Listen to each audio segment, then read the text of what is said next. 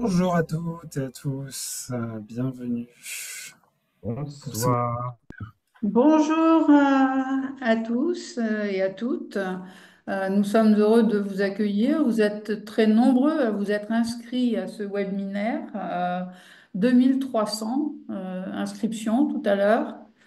Euh, Agnès, faut que tu, Agnès, faut que tu réactives ta caméra juste. Hop. Voilà, super.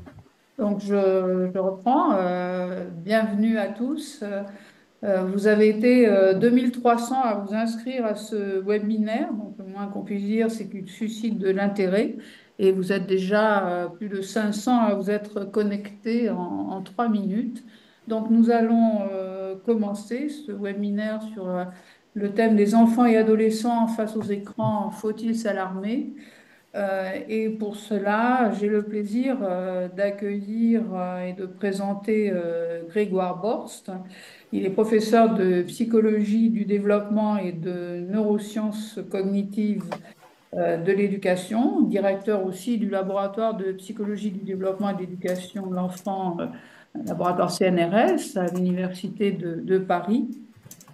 Ses recherches portent euh, sur le rôle des fonctions cognitives de haut niveau dans le développement cognitif et socio-émotionnel et aussi dans les apprentissages scolaires chez l'enfant, l'adolescent et le jeune adulte en combinant des approches à la fois comportementales et de neuroimagerie.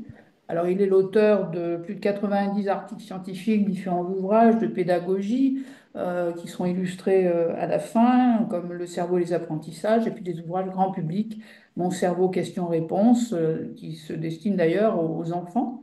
Et puis, c'est pas moi, c'est mon cerveau, etc. Et alors, il a été le seul psychologue parmi les dix membres de la commission d'experts constituée pour évaluer les enjeux attachés à l'exposition des enfants aux écrans et formuler des recommandations. Et cette euh, commission a remis son rapport au président de la République en avril 2024. Le titre de ce rapport public, il y fera référence tout à l'heure, c'est Enfants et écrans à la recherche du temps perdu. C'est un très beau titre. Et le rapport est accessible, gratuit, en ligne, très, très facilement. Donc, euh, bienvenue et nous allons euh, commencer. Alors, euh, deux, trois indications euh, habituelles pour ceux qui nous suivent dans ces webinaires. Euh, donc tout le monde parmi les inscrits ne peut pas participer euh, en direct, mais le webinaire est enregistré et le lendemain, il sera accessible en, replay sur le site de la PPEA et le PDF du diaporama qui va être présenté sera également disponible en ligne sur notre site. Alors, je rappelle, comme chaque fois, que nous ne pouvons pas délivrer d'attestation de formation ou de suivi pour ce format de séminaire gratuit d'une heure mais euh, vous avez un conseil que vous pouvez suivre si vous voulez justifier de votre euh, présence, enregistrer le mail info de connexion et faire une capture d'écran durant le webinaire. Voilà, donc euh, vos remarques, vos commentaires professionnels, vos questions à l'intervenant seront à écrire dans le volet de discussion. Et puis, euh, la reprise ou la synthèse euh, euh, sera faite par plusieurs d'entre nous de la PPEA, donc avec Vincent euh, Amelot et Théodore de Mascarel qui vont reprendre et, synthétiser vos, remarques et, et vos questions. Alors, assurez-vous, hein, dans la fenêtre de discussion, que vos messages sont bien adressés à tout le monde pour cela et non pas seulement hôtes et panélistes. Voilà, je pense qu'on n'a rien oublié et qu'on va pouvoir donner la parole pour 35 minutes à peu près à Grégoire Borst. Et puis ensuite, euh, il y aura le temps des questions.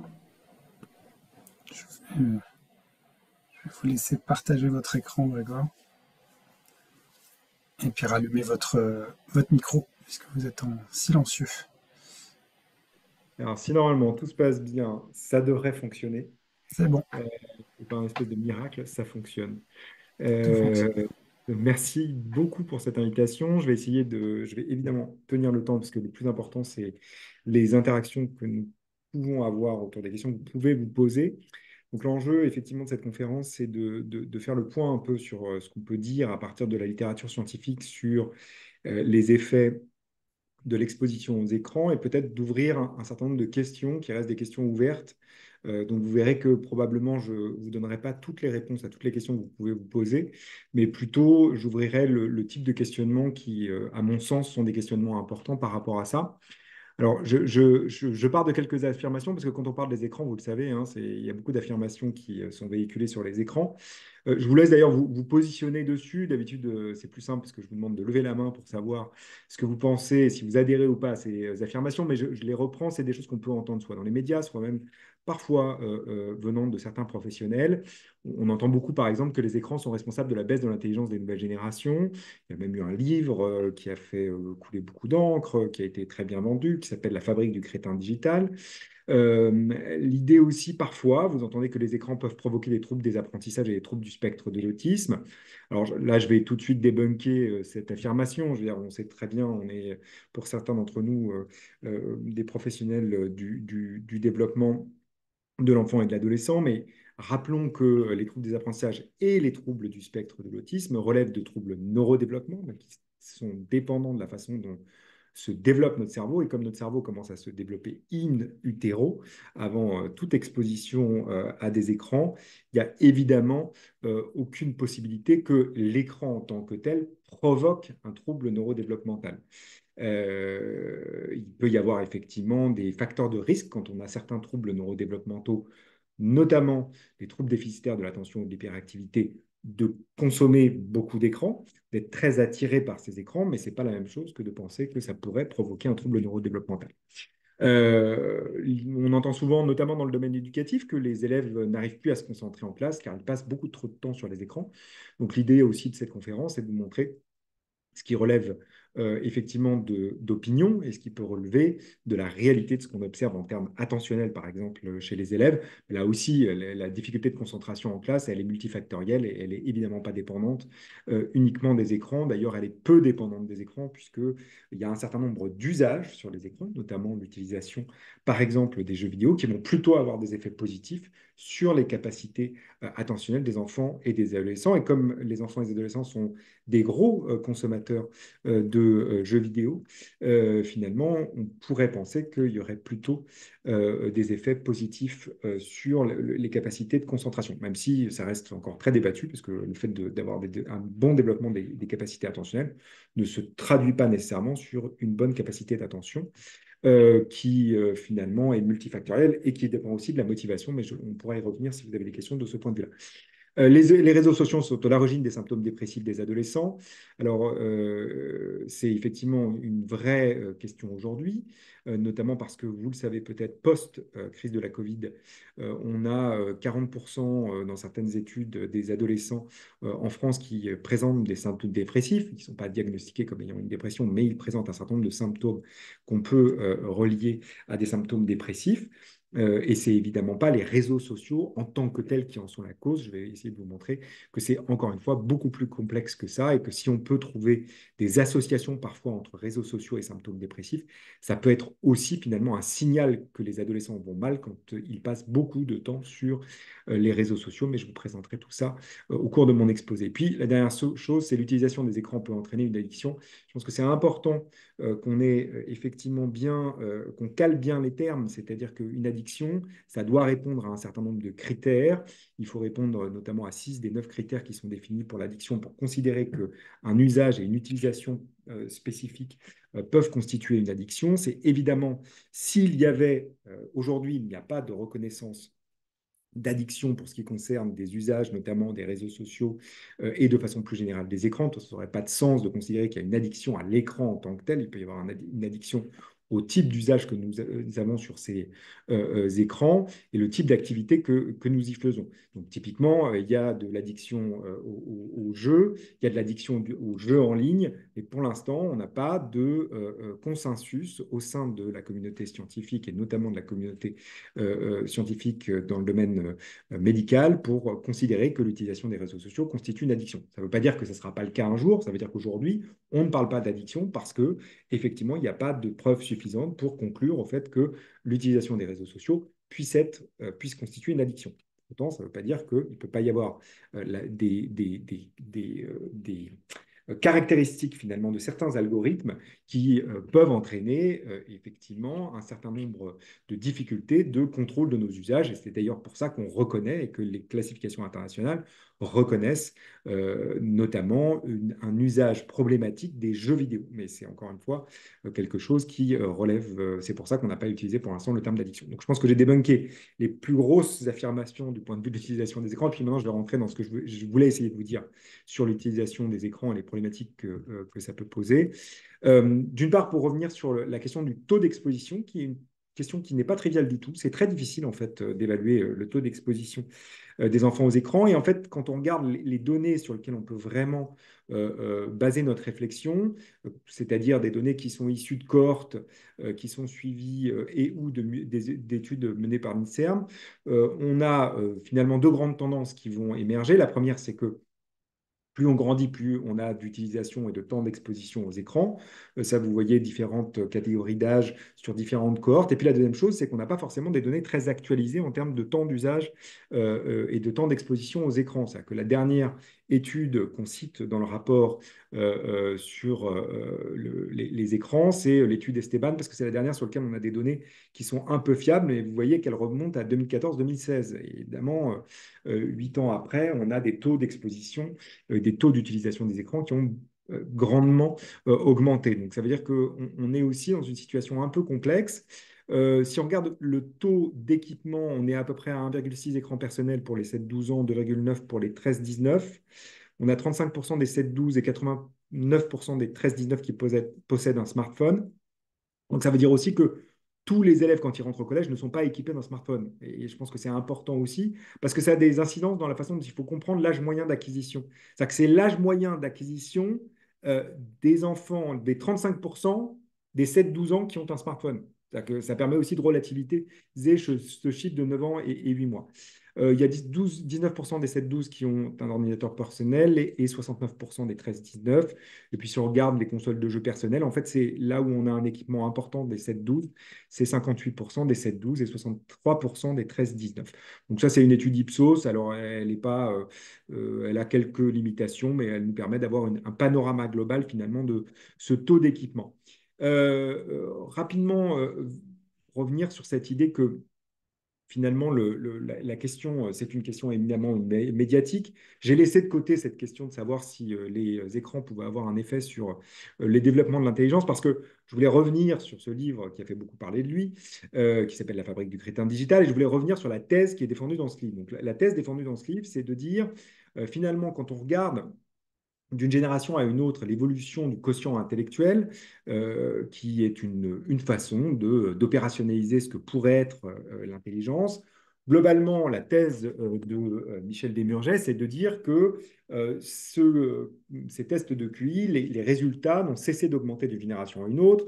Il y aurait aujourd'hui une asymptote, voire même il y aurait une, une régression d'une certaine manière de, cette, de, du quotient intellectuel d'une génération à une autre il dit bah, finalement, ce qui a changé dans, notre environnement, c'est l'apparition du numérique. déjà, vous sentez bien ici qu'il y a un biais de raisonnement dans, cette thèse, dans cette hypothèse, c'est qu'il y, a plein d'autres choses qui ont euh, finalement euh, euh, qui, ont changé dans notre environnement. On peut penser à l'exposome, c'est-à-dire l'ensemble des substances chimiques auxquelles on est, on est exposé, dont on sait qu'ils ont des effets sur le développement cérébral. Mais surtout, ce qui est le plus intéressant, c'est que d'une certaine manière la recherche continuant.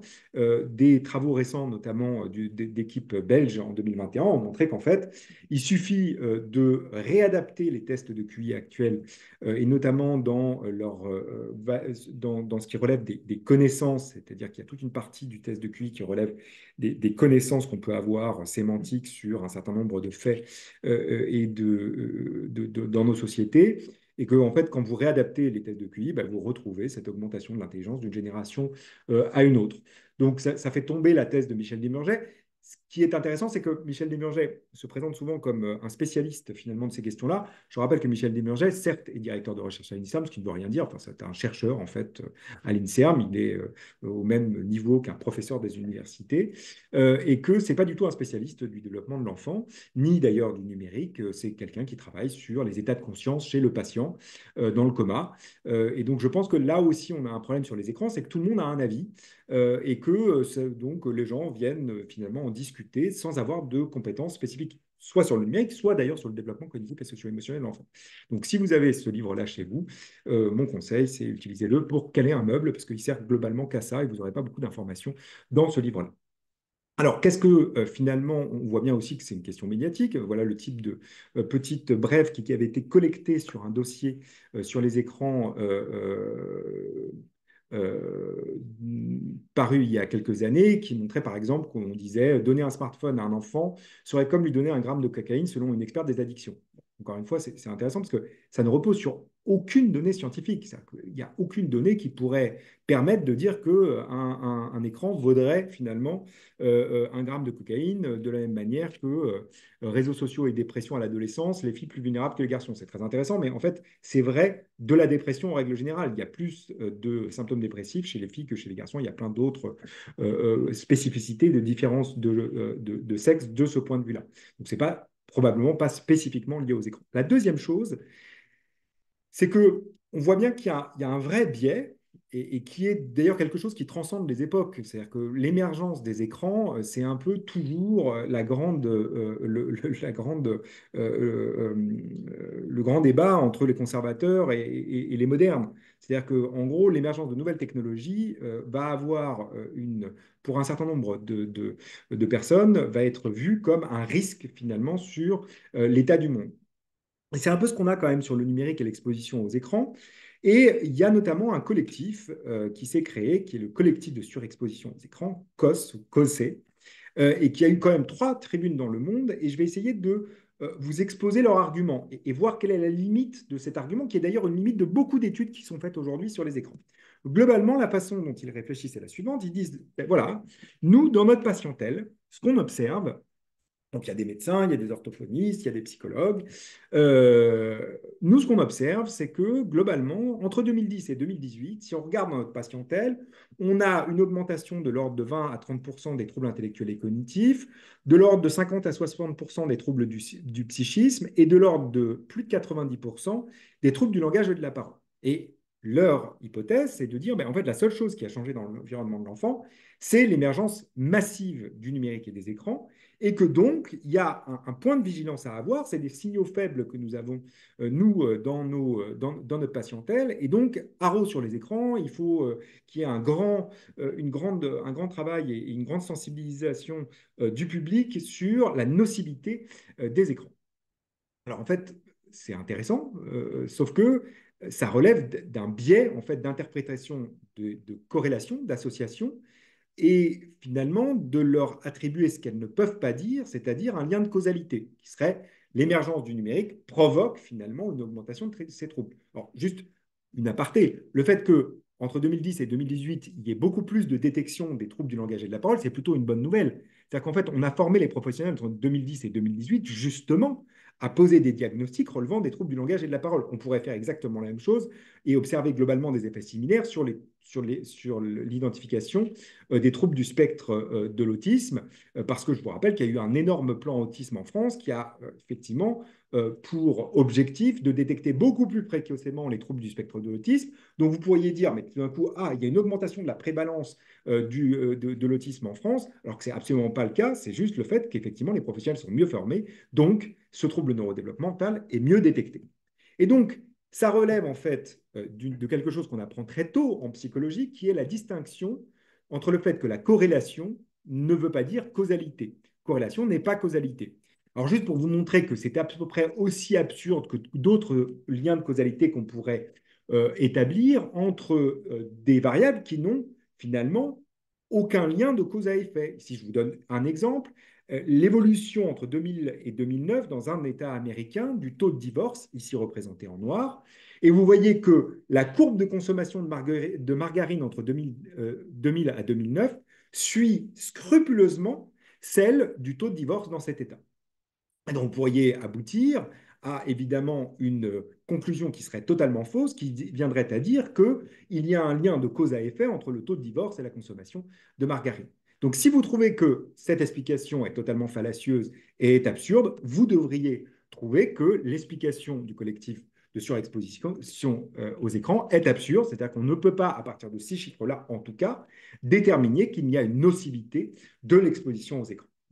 Alors pourquoi c'est complexe? Ben Parce que finalement, déterminer la différence entre corrélation et causalité, c'est extrêmement complexe. Et quand vous voyez deux variables qui covarient ensemble, c'est-à-dire par exemple le temps d'écran et le développement cognitif et socio-émotionnel, vous pouvez interpréter ces associations de façon finalement euh, euh, complètement... Euh, vous ne pouvez pas distinguer entre une explication qui viendrait à dire que le temps d'écran produit des effets sur le développement cognitif et socio-émotionnel, ou que le développement cognitif et socio-émotionnel d'un enfant donné crée des facteurs de vulnérabilité d'utiliser trop les écrans. Vous ne pouvez pas dissocier entre les deux. Donc le fait d'observer une augmentation, par exemple, des troubles du langage et de la parole, et le fait que dans nos sociétés, on ait plus utilisé d'écran, ne veut pas nécessairement dire qu'il y a un lien de causalité de l'un par rapport à l'autre, mais ça peut vouloir dire que peut-être que les enfants, qui n'est pas forcément le cas, mais c'est une façon euh, de, réfléchir au problème. Ça peut, vouloir tout autant dire que le temps d'écran pourrait produire des effets sur le trouble du langage et de la parole, ou que le trouble du langage et de la parole crée un facteur de risque de consommer plus les écrans. Vous ne pouvez pas dissocier entre ces deux explications. Et puis la dernière chose, quand vous regardez l'ensemble de ces études, et je pense que ça, c'est un facteur important pour vous euh, euh, d'exercer un esprit critique, c'est de savoir est-ce que finalement, dans ces études, on a bien contrôlé pour un certain nombre de facteurs qui pourraient expliquer l'association entre temps d'écran et développement cognitif et socio-émotionnel. Et en premier lieu, le statut socio-économique des familles. Parce qu'on sait que le statut socio-économique des familles a des effets extrêmement importants sur le développement cognitif et socio-émotionnel de l'enfant et de l'adolescent, et que ce statut socio-économique, du fait des spécificités de cet environnement, a également des effets sur le temps d'exposition aux écrans. Donc si vous ne contrôlez pas pour l'effet du statut, socio-économique dans la relation qui peut être observée entre temps d'écran et développement cognitif et socio-émotionnel, vous faites une erreur d'interprétation de l'association qu'il pourrait exister entre les deux. Donc, c'est une bonne façon d'aller regarder euh, l'ensemble de ces études. Alors, qu'est-ce qu'on sait globalement sur cette problématique du temps d'écran et de l'exposition aux écrans? Ben, la première chose, c'est que ce n'est pas aussi simple que de dire que globalement, le temps d'écran a nécessairement un effet négatif, y compris sur ce qui relève euh, du développement langagier de l'enfant. Alors, vous pouvez prendre par exemple pour opérationnaliser euh, ce, ce, ce, développement langagier, par exemple, l'évolution du QI verbal entre 2,5 et 6 ans. Donc, ce que vous voyez ici, c'est le temps d'exposition aux enfants de 2 ans aux écrans et l'impact qu'il y a eu sur la différence de quotient intellectuel verbal entre 2 ans et 6 ans et demi. Donc, ce qu'on essaie de regarder, c'est l'évolution du quotient intellectuel verbal. Et ce qu'on voit de façon paradoxale, même si l'effet n'est pas significatif, c'est que en dessous de 2 heures d'exposition aux écrans pour les enfants de 2 ans, on n'a pas une tendance négative sur le développement du QI verbal. Certes, ce n'est pas significatif, mais en tout cas, c'est une cohorte française, 1413 enfants, représentatifs globalement de la population générale, et il n'y a pas d'effet du temps d'exposition en tant que tel. Alors, on verra qu'on va moduler ça parce qu'il y a un certain nombre de méta-analyses qui montrent quand même que le temps d'écran peut avoir, peut créer un facteur de risque sur le développement langagier de l'enfant, mais pour autant, dans cette cohorte-là, on n'arrive pas à mettre en évidence cet effet. Ce qui est beaucoup plus intéressant, c'est qu'il semble qu'il y ait des moments dans la journée où effectivement le temps d'exposition aux écrans joue de façon beaucoup plus négative sur le développement des capacités langagières de l'enfant. Et notamment le fait que la télévision soit allumée pendant les repas. Et donc, c'est intéressant parce qu'en termes de sensibilisation des parents, en termes aussi de, compréhension des effets qui peuvent émerger du fait de l'exposition aux écrans, il semble qu'il y a des moments où l'écran interfère beaucoup plus sur les interactions interpersonnelles et notamment sur la communication entre les adultes et les enfants, dont on sait que ces interactions sont absolument critiques pour le développement langagier de l'enfant. Donc, en termes de, finalement de politique publique et de politique euh, sanitaire en particulier, peut-être qu'une des choses qu'on peut essayer de dire aux parents, parce qu'il faut leur donner aussi finalement des dimensions sur lesquelles ils peuvent effectivement agir, c'est de dire, ben, à minima, il faut qu'aucune personne du foyer utilise un écran quand on est à table. Et pourquoi quand on est à table? Ben, Parce qu'en fait, euh, euh, le, en France, le repas constitue un moment de socialisation privilégiée dans lequel on a des interactions langagières les uns avec les autres. Deuxième euh, résultat, issu de la cohorte ELF, mené sur 8000 enfants de 2 à 5,5 ans. globalement, ce que montre cette étude, c'est que ben, globalement, l'exposition aux écrans à 3 ans euh, à, deux ans a un effet sur le développement global à deux ans. À trois ans et demi et cinq ans et demi, le temps d'exposition est associé à un moins bon développement cognitif global et langagier en particulier.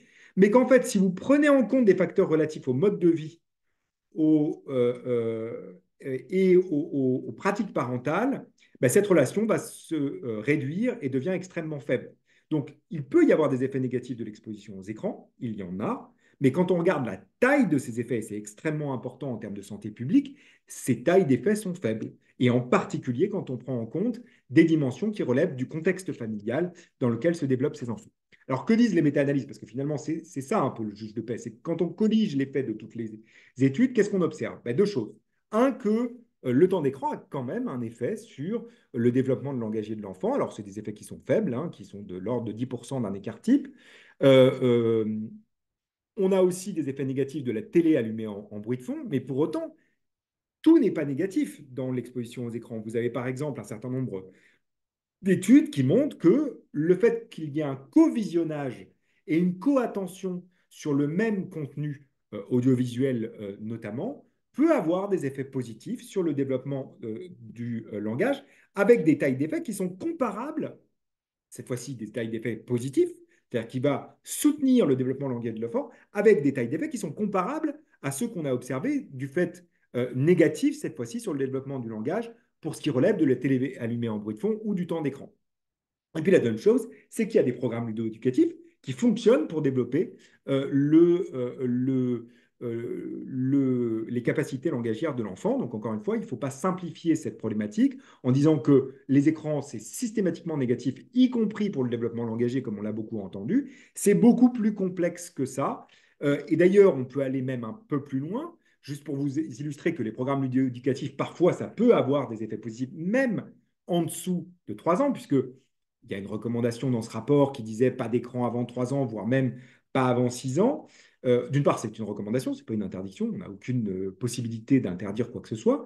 Et puis l'autre chose, c'est simplement de dire que on avait aussi, euh, il y a aussi cette notion qu'il faut autonomiser progressivement les enfants et autour du contenu de très bonne qualité. Et effectivement, quand vous regardez les différences de contenu, bah, vous avez des effets qui sont très différenciés. Donc, le temps d'écran, c'est un très mauvais marqueur des effets potentiellement négatifs ou potentiellement, alors essentiellement négatifs, euh, euh, de ce que peuvent produire les écrans. En fait, il faut s'intéresser au contenu. Et donc, vous voyez bien là, toute la complexité qu'il peut y avoir à mener ce type d'études.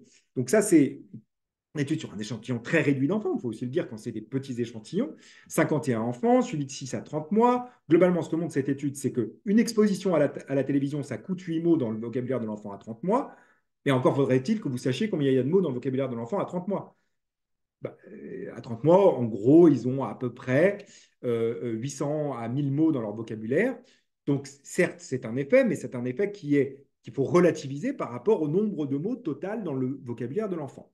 La deuxième chose, c'est qu'il y a des contenus qui semblent avoir des effets négatifs sur le développement de l'enfant, type Teletubbies. En fait, ce n'est pas très surprenant. Si vous regardez les Teletubbies, il n'y a, a, pas de langage dans les Teletubbies. Ils passent leur temps à babiller. Bah, si effectivement vous laissez votre enfant devant un programme dans lequel euh, on est essentiellement de l'ordre du babillage, bah, vous avez des effets négatifs sur le développement du langage par rapport à des enfants qui ne sont pas du tout exposés à la télé. Mais ce qui est intéressant, c'est que des programmes dans lesquels il y a un contenu langagier riche comme Dora l'exploratrice ou Rue Sésame, on a 13 à 14 mots en plus dans le vocabulaire à 30 mois par rapport à des enfants qui ne sont pas du tout exposés à la télévision. Puis je voulais juste vous montrer qu'il faut relativiser la taille des effets. C'est-à-dire que quand vous regardez par exemple le milieu social d'origine sur le développement langagier de l'enfant, je rappelle que c'est un effet qui va du simple au double. C'est-à-dire qu'un enfant à 36 mois, quand il vient d'un milieu social défavorisé, il a 525 mots dans son vocabulaire quand il vient d'un milieu social. Euh, pardon, défavorisé 525 mots, quand il vient d'un milieu social favorisé, il en a 1200. Donc l'effet est quand même pas tout à fait du même ordre entre le milieu social d'origine et euh, l'exposition aux écrans. il y a en gros deux grands domaines sur lesquels il y a des preuves qui sont concordantes pour dire que là, il y a un niveau d'alerte qui est important, c'est sur le niveau somatique. On sait que les écrans s'ajoutent de façon négative sur la qualité du sommeil et ce qui peut expliquer un certain nombre d'effets observés au niveau des apprentissages, et que c'est un vrai enjeu de santé publique parce qu'il y a 49%, 49 des parents d'enfants de moins de 11 ans qui pensent que l'usage des écrans n'a aucun impact sur le sommeil de leurs enfants. Et puis la deuxième chose, c'est qu'on a un vrai problème de sédentarité, notamment post-Covid et en particulier chez les adolescents, qui, euh, euh, effectivement, sur lequel l'écran va avoir des effets, c'est-à-dire qu'on sait que le, temps passé devant les écrans augmente la sédentarité et que, donc, et que cette sédentarité crée des facteurs de risque, notamment pour développer euh, de l'obésité et, et, donc des maladies cardiovasculaires. Mais il faut bien comprendre que toute la chaîne causale, c'est utilisation des écrans augmente la sédentarité et c'est la sédentarité qui crée des facteurs de risque sur l'obésité et sur les risques de maladies cardiovasculaires. Alors, que dire euh, des adolescents, parce que j'ai beaucoup parlé des jeunes enfants, mais que dire des adolescents? Est-ce qu'il faut faire haro sur leur pratique des réseaux sociaux euh, parce que ça les rendrait euh, finalement dépressifs?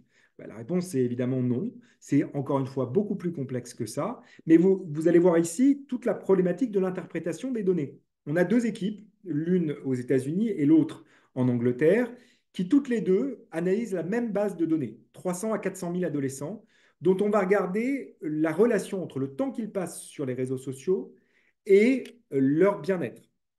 Et ce que montrent ces deux études, elles concluent exactement au même résultat, c'est qu'il y a 0,4% du bien-être des adolescents qui peut être imputé au temps qu'ils passent sur les réseaux sociaux. Je me répète, 0,4%.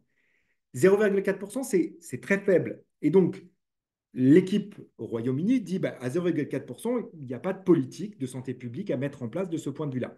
Et l'équipe euh, euh, américaine dit attention, attention, 0,4%, en fait, ça fait quand même, en termes de population générale euh, d'adolescents, en fait, une masse suffisamment critique pour qu'on puisse faire de la sensibilisation sur ces questions-là. Donc on voit bien que là, il y a une question d'interprétation à avoir, c'est-à-dire que la taille de l'effet, si on la rapporte au nombre d'individus, effectivement, elle peut entraîner qu'on puisse sensibiliser les adolescents sur cette question-là. La deuxième chose, c'est que quand on regarde ces associations qu'il peut y avoir entre réseaux sociaux et satisfaction dans la vie, en fait, c'est des, associations qui sont extrêmement complexes à l'adolescence, qui sont genre et âge dépendants et qui semblent très liées notamment à l'entrée de la puberté. Ici, ce que vous voyez représenté, c'est l'association entre la satisfaction rapportée par les adolescents dans leur vie et le temps qu'ils passent sur les écrans. Donc, plus vous voyez quelque chose qui euh, diverge de zéro, plus il y a une association entre ces deux variables.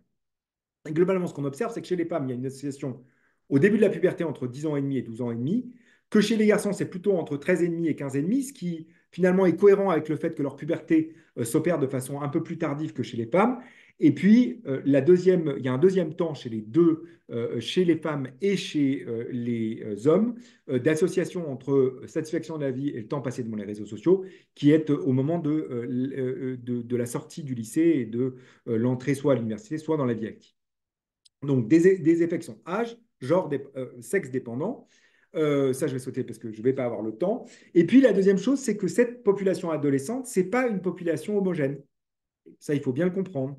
C'est-à-dire qu'il peut y avoir effectivement des adolescents qui sont plus ou moins vulnérables d'utiliser beaucoup plus les réseaux sociaux et que pour cela, ça peut créer et constituer peut-être des facteurs de risque de voir émerger certains symptômes dépressifs. Donc c'est ce que montre cette étude, mais pour aller très vite, parce que je voulais garder un tout petit peu de temps pour la, fin de mon exposé, ce que montre cette étude, c'est que la façon dont se développe notamment le réseau de la récompense et euh, des divergences dans le développement de ce réseau de la récompense créent des facteurs de risque pour développer un usage excessif des réseaux sociaux. Et chez les filles, cet usage excessif des réseaux sociaux constitue un facteur de vulnérabilité de développer des symptômes dépressifs. Mais vous voyez que ce pas des associations directes, c'est des associations qui sont complexes, qui sont âge et genre dépendants et qu'il faut donc prendre en compte l'ensemble de cette complexité pour comprendre les effets. La dernière chose, c'est la question du numérique éducatif. on entend beaucoup parler, euh, des fois c'est haro sur le numérique, puis des fois c'est il faut euh, finalement la quintessence de la résolution des problématiques de notre système éducatif, ça sera le numérique éducatif. Je voudrais simplement dire que quand on regarde par exemple la Suède et qu'on dit ah tiens la Suède fait marche arrière sur le numérique éducatif, on n'est pas tout à fait au même taux euh, finalement de des élèves dans ces deux pays. En France, pour vous donner une idée, il y a à peu près 9 terminaux mobiles pour 100 élèves dans le primaire et 20 pour 100 élèves dans le secondaire, on est à un taux d'équipement qui est extrêmement faible. Et si on regarde de façon globale ce que produit le taux d'équipement des élèves sur leurs apprentissages scolaires fondamentaux, contrairement à la petite musique qu'on peut entendre de temps en temps, les élèves qui sont occupés, c'est la gauche de la diapositive, d'équipements mobiles individuels, c'est-à-dire une tablette par élève, on observe des effets positifs sur les compétences numériques, que ce soit en cinquième ou en quatrième, sur les mathématiques en quatrième, sur le français, notamment la compréhension orale en cinquième avec des effets qui sont de l'ordre de 30% euh, d'un écart type, ce qui est extrêmement, euh, ce qui commence à être des effets relativement importants, euh, et puis des effets sur la compréhension écrite. Ce qui est intéressant, c'est que l'équipement en classe mobile fonctionne beaucoup moins bien. Donc, il semble que si on veut équiper les écoles, il faut équiper les écoles d'équipements mobiles individuels. C'est vrai aussi quand vous analysez PISA, donc au collège, si vous regardez l'usage du numérique dans les écoles, les élèves qui déclarent utiliser un équipement numérique euh, ou ne pas en utiliser, ben, globalement, ceux qui utilisent euh, finalement ou qui font des apprentissages avec le numérique réussissent mieux dans les tests PISA. Donc, il faut aller regarder l'ensemble des données PISA pour voir que parfois le numérique éducatif peut avoir euh, des vertus. Et puis la dernière chose, c'est qu'on peut aussi les utiliser dans le domaine finalement de la remédiation de certaines difficultés et notamment des troubles du développement. C'est une étude qui montre que l'utilisation par exemple de jeux vidéo d'action, par leur effet qu'ils produisent sur les systèmes attentionnels et sur l'amélioration notamment de l'attention focalisée, peut avoir euh, euh, des effets positifs sur les capacités de lecture, notamment des enfants dyslexiques. Donc on peut aussi utiliser le numérique comme un dispositif de remédiation de certains troubles euh, du neurodéveloppement. Je vais, juste finir là-dessus. Il me reste 4 minutes et je voulais prendre un tout petit peu de temps sur les recommandations qui avaient été faites par ce, cette commission. Alors, ce n'est pas la commission Macron, c'est la commission écran à la rigueur. Euh, et pourquoi on a appelé ça la recherche de temps perdu? Alors, beaucoup de gens l'ont interprété euh, euh, sur le fait qu'on disait c'est le temps perdu par les enfants sur les écrans. Absolument pas. À la recherche du temps perdu, ça veut dire à la recherche du temps perdu des politiques publiques vis-à-vis de la problématique des écrans. C'est-à-dire qu'on a perdu beaucoup de temps et qu'il est temps effectivement d'essayer de penser cette problématique de façon systémique.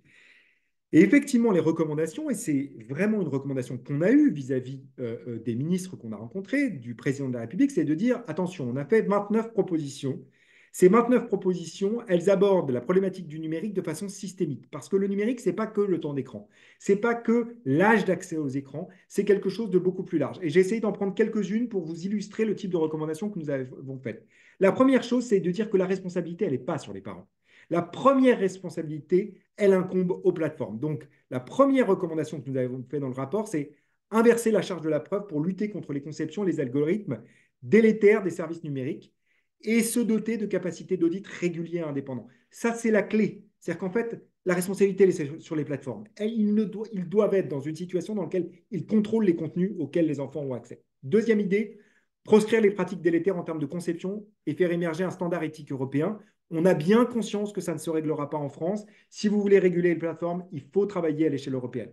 Renforcer les garde-fous dans les jeux vidéo pour sécuriser l'expérience des certains jeunes joueurs et ainsi mieux les protéger des contenus inappropriés. Ici, on pensait aux loot box, c'est-à-dire tous ces dispositifs qui vont faire que les enfants restent connectés pendant très longtemps. Faire émerger et promouvoir les solutions privées de protection plus efficaces et plus efficientes et accessibles. Ça veut dire quoi? Aujourd'hui, il y a des solutions qui existent pour empêcher les enfants d'accéder à du contenu inapproprié à leur âge et elles ne sont pas mises en place pour des questions qui sont essentiellement des questions économiques.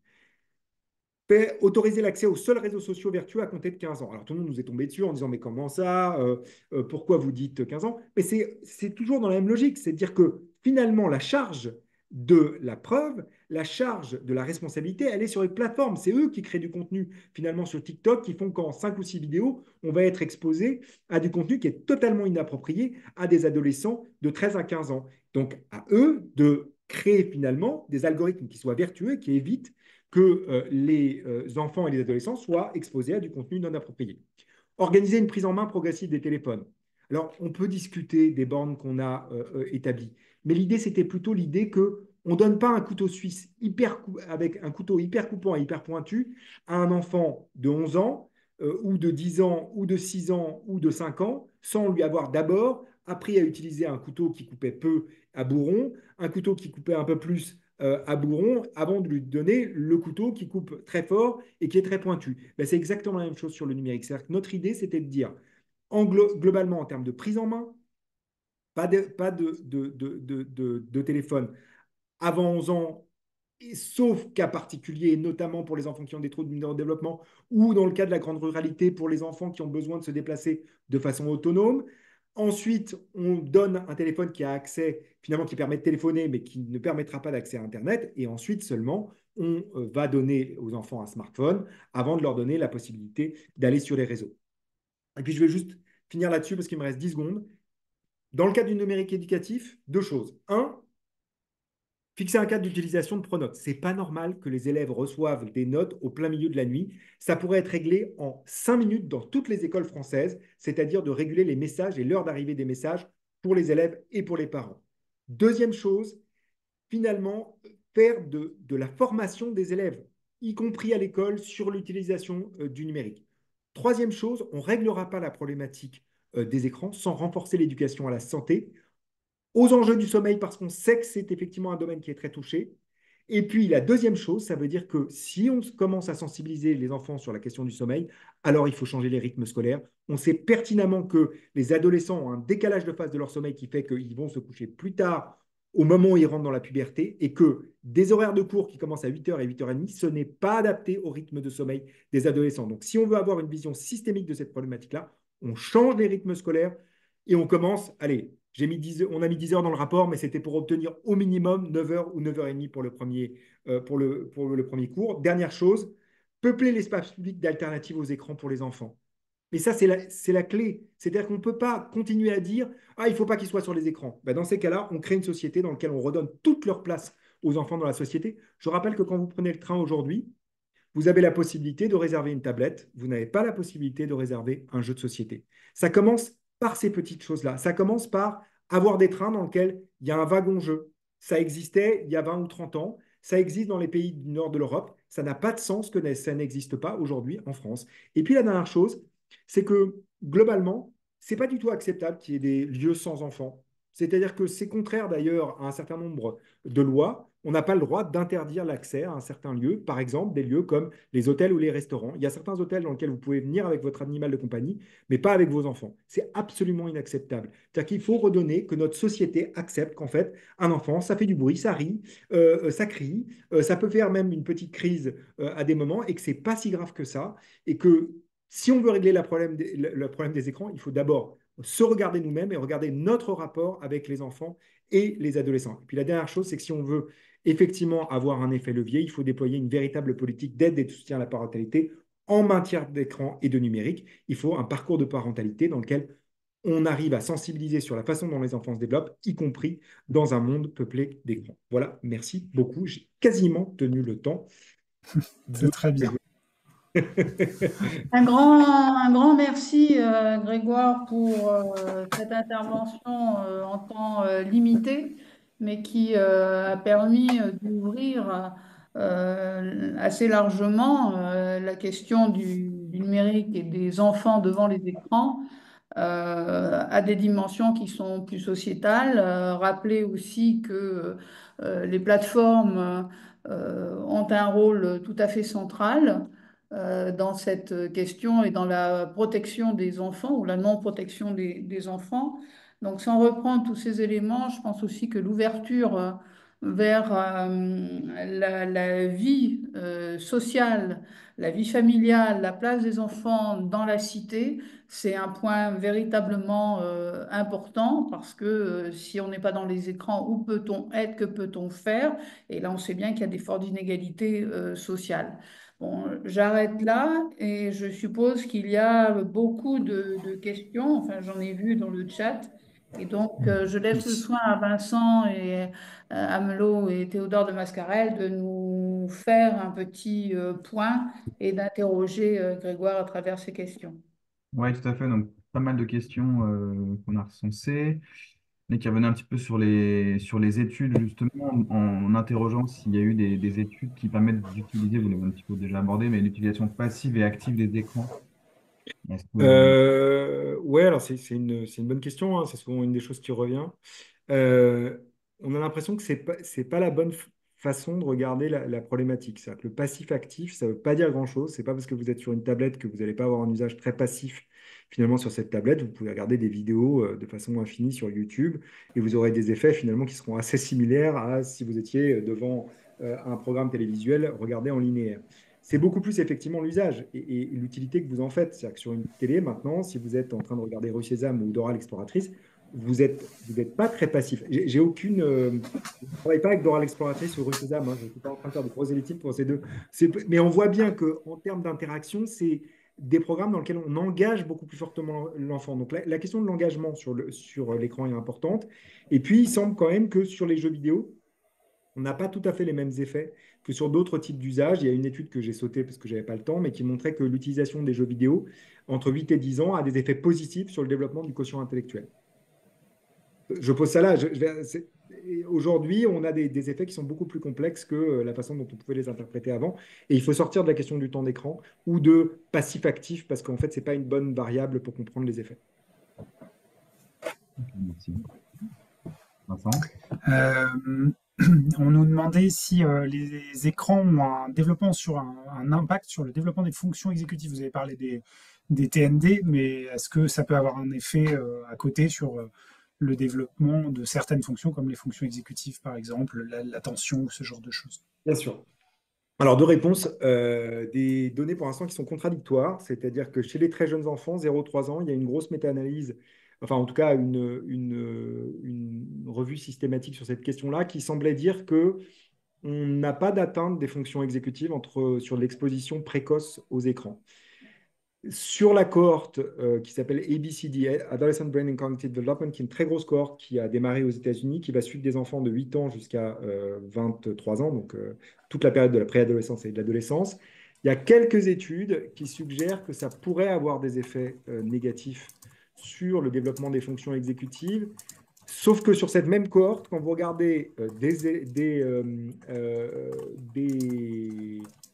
enfants de 10 ans, de 9-10 ans qui jouent 21 heures par semaine aux jeux vidéo, ils ont des meilleures fonctions exécutives que ceux qui ne jouent pas du tout à des jeux vidéo. Ça ne veut pas dire qu'il y a un lien de causalité. Hein. Attention, j'ai beaucoup insisté là-dessus. Ça peut dire, ça dire qu'ils avaient des meilleures fonctions exécutives, d'où le fait qu'ils jouent beaucoup plus aux jeux vidéo, parce qu'ils sont meilleurs. Mais ça veut simplement dire que ça n'écroule pas, ça ne fait pas effondrer leurs fonctions exécutives. Donc on est un peu au milieu du guet sur la question des fonctions exécutives. Sur la question de l'attention, deux euh, nouvelles études qui est en train de sortir, dont euh, voilà, il faut prendre ça avec euh, pour l'instant toute la distance parce qu'on n'a pas beaucoup d'études là-dessus, semblaient suggérer qu'à 4 ans d'utilisation des réseaux sociaux, pour des, enfants qui ont commencé très jeunes, hein, on parle d'enfants de 8 ans, euh, au bout de 4 ans, les effets de l'utilisation des jeux vidéo ont un effet extrêmement positif sur le développement des compétences attentionnelles, avec des maintiens dans le temps qui peuvent être extrêmement importants. Encore une fois, on ne sait pas si ça se transfère par exemple à la concentration en classe, mais ça reste un champ ouvert. Euh, par contre, l'utilisation des réseaux sociaux dans cette étude semblait avoir plutôt un effet négatif sur le développement des capacités attentionnelles après 4 ans d'utilisation, pas après 2 ans d'utilisation. Donc il semble aussi qu'il y ait des effets cumulatifs dans le temps sur lesquels il va falloir qu'on soit un peu vigilant parce que des usages, dans un premier temps, ne peuvent ne pas avoir d'effet et progressivement produire des effets qui peuvent être négatifs ou, euh, dans le cas des jeux vidéo, qui pourraient être positifs. Mmh. Et justement, question euh, pour reprendre le dernier point des, des, recommandations de la commission écran, disons, euh, déployer une véritable politique d'aide et de soutien à la parentalité en matière d'écran et de numérique. on sait euh, les liens entre les pratiques numériques euh, des parents avec les technoférences, c'est-à-dire se mettre sur l'écran pour couper finalement la, la communication, l'échange avec l'enfant. Mais est-ce qu'on peut donner des pistes aux parents et aux professionnels qui, qui rencontrent les parents pour euh, mieux accompagner euh, une sorte de, retrait ou de contrôle mmh. des activités sur le numérique? Alors, ça se pose différemment pour les très jeunes enfants. Euh, et pour des adolescents qui ont déjà une grande habitude des écrans et de leur utilisation selon ce qui leur plaît. Non, non, mais tu, as raison de, soulever cette, cette question-là que je n'ai pas pu aborder. effectivement, dans le rapport, on le dit bien, c'est-à-dire qu'on pressent euh, ou en tout cas c'est une piste et une hypothèse importante qui est de dire que c'est les mécanismes de technoférence qui pourraient jouer en fait très fortement sur euh, les effets délétères observés sur le développement langagier de l'enfant. Technoférence, ça veut dire quoi? Ça veut dire tout usage du numérique, y compris du côté des parents, qui vont avoir des effets sur les interactions et sur notamment le rythme des interactions. Parce que pour se développer et pour développer la communication, on a besoin d'avoir un rythme sur nos interactions et notamment nos interactions langagières et voir nos interactions non langagières. Et qu'on voit bien, mais c'est très difficile encore une fois à montrer, c'est-à-dire que ça, il faut, euh, euh, c'est beaucoup plus difficile de, regarder la, la co-occurrence du temps d'écran entre les enfants, les parents, à quel moment de l'interaction et ainsi de suite. Mais ce qu'on voit effectivement, c'est que le fait d'utiliser un écran va, avoir des impacts sur le type de communication qui peut se mettre en place. Et une des choses qu'on peut dire, et c'est pour ça qu'on insiste beaucoup sur le temps du repas, c'est-à-dire que le temps du repas, c'est un temps qui doit être fondamentalement sans écran, parce que c'est un moment où effectivement on communique beaucoup les uns avec les autres. La deuxième chose, si on peut faire une, une préconisation euh, euh, en tant que parent, et ça vient aussi de notre expérience personnelle, mais c'est quelque chose qu'on peut aussi observer quand on interroge les parents, c'est le fait que parfois on se donne un peu bonne conscience en étant dans la même pièce qu'un enfant sur notre portable euh, ou euh, sur notre euh, ordinateur, en se disant bah, au moins je suis là, et puis on fait des réponses du type «Hum, ouais, c'est super, ah d'accord, c'était bien ta journée, mais en fait, on n'est pas du tout dans la communication, notamment il y a un décalage en termes de la réponse et sur la temporalité des réponses qu'on peut faire à l'enfant, et en fait, ça ne sert à rien. Donc il vaut mieux dire aux parents prenez 15 minutes pour être en interaction réelle avec vos enfants, où vous posez votre téléphone, vous posez votre écran, vous avez fermé la télévision et vous êtes engagé une véritable conversation avec eux, plutôt que de prendre deux heures et de vous donner bonne conscience en, essayant, en, étant, en ayant passé deux heures avec votre enfant. Et il y a quelques études qui commencent à, à suggérer, notamment les, euh, les, les, euh, un certain nombre d'études qui sont menées par, euh, je crois que c'est Marie Danet, mais c'est en tout cas son nom de famille, c'est Danet, qui porte sur les questions de la technoférence et notamment la technoférence. à Lille 3, à Lille 3, Marie Danet, oui. Et c'est ça, qui montre qu'effectivement, il y a là aussi des effets qui peuvent être négatifs, c'est-à-dire notamment du degré de confiance que peuvent avoir les ados vis-à-vis de leurs parents et des parents vis-à-vis -vis de leurs ados quand ils sont en interaction finalement et que chacun utilise son écran. Ok, merci. Et juste justement pour euh, étayer un petit peu euh, votre euh, positionnement sur, parce que c'est pas mal, enfin c'est un peu relayé dans le, dans le chat, mais sur les, les programmes 3, 6, 9, sur les écrans qui ont été pas mal médiatisés ces dernières années. Quel est votre positionnement là-dessus? Alors, la première version de 36912, euh, il pouvait y avoir, je veux dire, un certain nombre légitimement de réserves par rapport à ça, notamment parce que ils n'étaient pas, mais ils le disent hein, d'ailleurs très bien, hein, je veux dire, euh, le, les équipes qui se sont équipées, euh, qui, ont été, qui se sont occupées de cette signalisation disaient bien que finalement, c'était pas, c'était une façon de pouvoir sensibiliser les parents et que ce n'était pas tiré directement de la littérature scientifique. Je trouve que la nouvelle version de 36912 est quand même beaucoup plus proche de ce qu'on sait effectivement des effets potentiels et des risques potentiels associés. Je rappelle, mais que c'est compliqué, je veux dire encore une fois, c'est ce que j'ai essayé de vous montrer, notamment sur le développement langagier de l'enfant, c'est que c'est beaucoup plus complexe que l'espèce de discours qui voudrait dire que tout écran avant euh, deux ans ou trois ans soit fondamentalement négatif pour l'enfant, avec des effets qui seraient extrêmement importants, espèce de discours, vous savez, que vous pouvez entendre de temps en temps, euh, de professionnels qui vous disent, ah, les enfants arrivent, ils ne parlent plus rien dire, mais euh, les enfants, euh, bien sûr, qui parlent. Vous pouvez considérer que le développement langagier n'est pas exactement celui qui devrait être. Et puis, de façon miraculeuse, on stopperait les écrans et tout d'un coup, les enfants euh, arriveraient à parler et, ainsi de suite. Ce n'est pas du tout la réalité, en fait, de la façon dont se passe le développement langagier de l'enfant. Je rappelle aussi qu'aux États-Unis, la limite n'est pas à 3 ans, la limite est à 2 ans. L'association de pédiatrie américaine dit pas d'écran avant deux ans, et à partir de deux ans, ils vont même jusqu'à préconiser une heure par jour accompagné par des parents. La préconisation euh, de la commission écran, c'est de dire on ne prend pas d'écran avant trois ans, mais pourquoi on ne dit pas d'écran avant trois ans en France? Il faut quand même en avoir conscience. C'est parce que c'est l'entrée à la maternelle. Ce n'est pas basé sur des données scientifiques. C'est simplement parce que ça donne une borne qui est l'entrée à l'école et on sait qu'effectivement, l'entrée à l'école, ça entraîne mécaniquement une diminution du temps d'exposition aux écrans des enfants, simplement parce qu'ils passent une grosse partie de leur journée à l'école dans laquelle, il faut être très clair, il n'y a pas d'écran. À part euh, sur des temps périscolaires, de temps en temps, il y a un peu d'écran. Mais donc, ils sont beaucoup moins exposés à ces moments-là.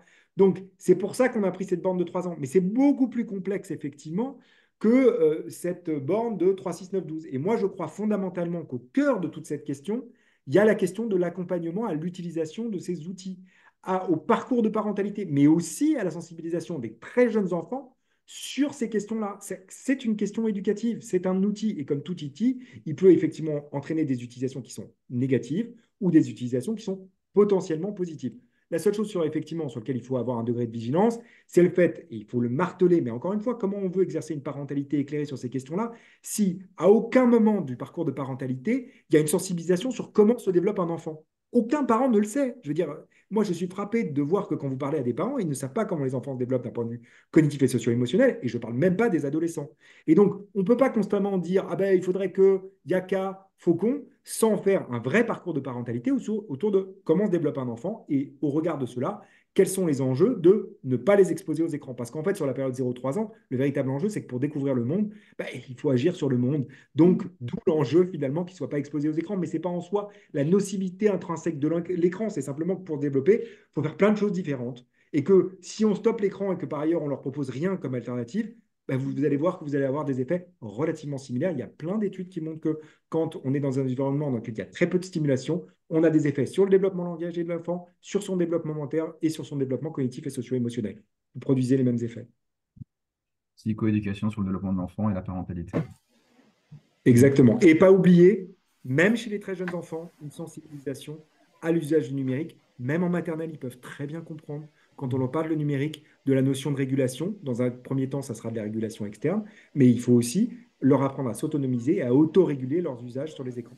Tout à fait. J'ai vu des expériences comme ça ou des pratiques. Ce n'était pas des expériences, c'était des pratiques régulières euh, dans des lieux d'accueil euh, des jeunes enfants euh, au, Canada, du côté de Vancouver, où les enfants eux-mêmes avaient un temps, quand ils, étaient, ils avaient fini une activité, ils avaient un temps d'utilisation d'une tablette pour des jeux, pour euh, une petite vidéo, et c'était eux-mêmes qui contrôlaient leur temps. Il y avait un minuteur, ils savaient qu'ils avaient tant de temps, et donc la, fin de, ce temps d'écran était prévisible et visualisable.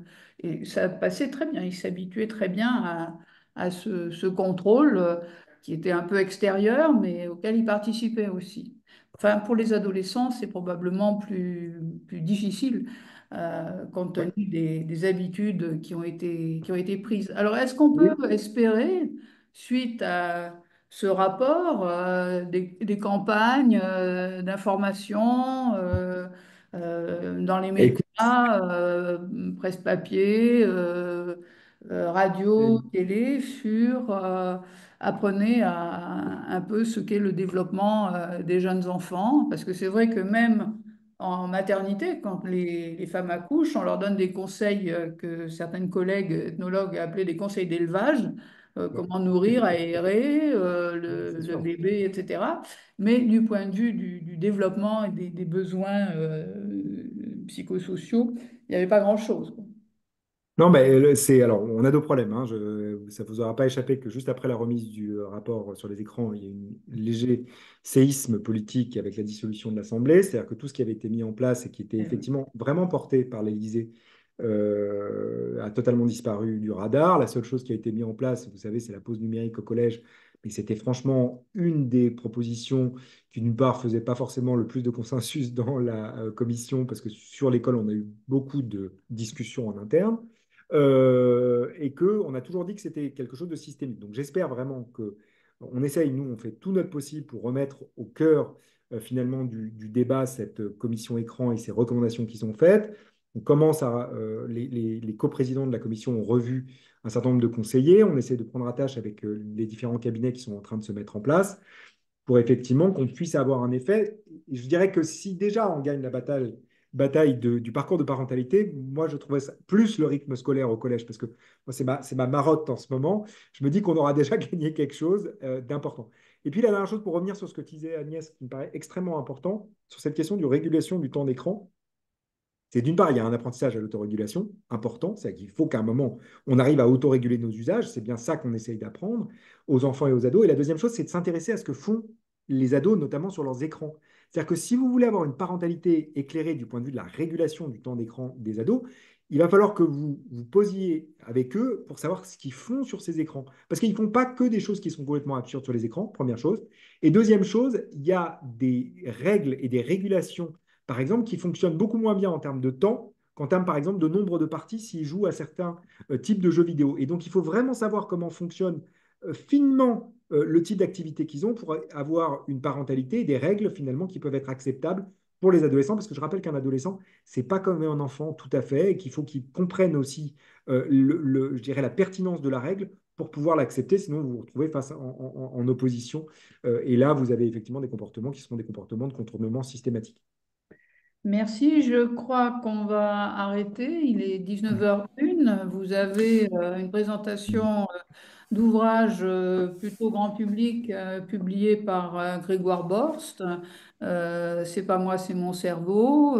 enseigner aux élèves comment apprendre. Et puis, mon cerveau, questions-réponses. Alors, ce sont des, des co-publications. Et je peux souligner que le dernier, Mon cerveau, questions-réponses, est destiné aux enfants à partir de 7 ans. Alors, peut-être de 7 à 77 ans, comme une bande dessinée célèbre. Euh, donc un grand merci à Grégoire Borst et un grand merci, euh, aux personnes qui ont suivi ce séminaire, qui pour, ce webinaire qui pourra être euh, vu sur le site de la PPEA à partir de demain et avec le PowerPoint de présentation.